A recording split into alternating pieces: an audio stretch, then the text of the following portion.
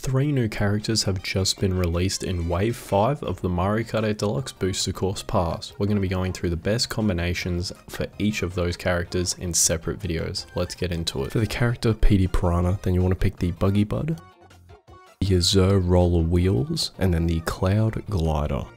Petey Piranha looks obnoxious in this game, man. Like, I know that he's been in GameCube, but still, I just can't imagine him on the Mario Kart 8 Deluxe engine. But anyway, so what you're going to see here is the exact same combination as Wiggler, because both of them are the exact same weight. And obviously, this combination applies to any heavy character as well. So I've used this combination for King Boo, for example. Anyways, that's the that's the wrap up for all characters that I've covered. All three of them, Wiggler, Kamek, and Petey Piranha. So make sure you guys guys go check out every single one of those. And thank you guys for watching. Peace.